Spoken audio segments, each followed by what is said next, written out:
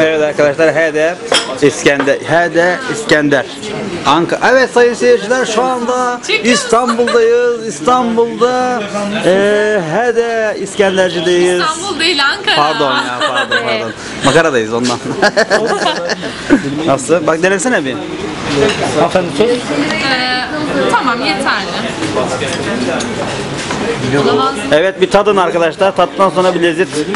Ee, Tereyağı gelecek ama. o tereyağı çekelim o zaman. Beni al. Hayır. Beni alma onu al. Beni alma onu al. Seni de. Ha beni çek. Evet sen çıkmadın. Evet sayın seyirciler. Baksana hemen şöyle ö, otomatikli bu arada. Otomatik. İyi günler. Şu anda e, baksana sesim bir anda gitti beni oldu.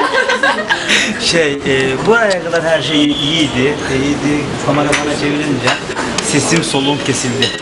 Şey kamera bana çevirince sesim soluğum kesilir benim. Nasıl? Bakalım tadalım mı?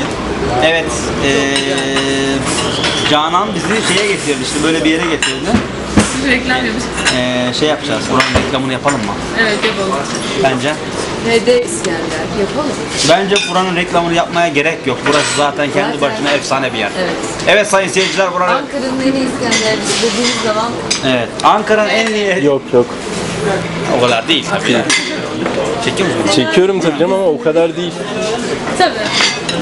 Tereyağı çek. Şeyi soracağım.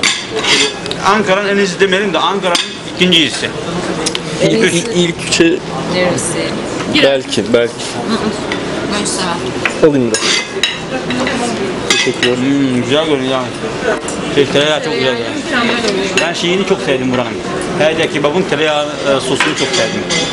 Sen? Ben tereyağı Her şey güzel. kullanmıyorum. Ee? Sevmiyorum fazla yağlı geliyor. Yo zarar.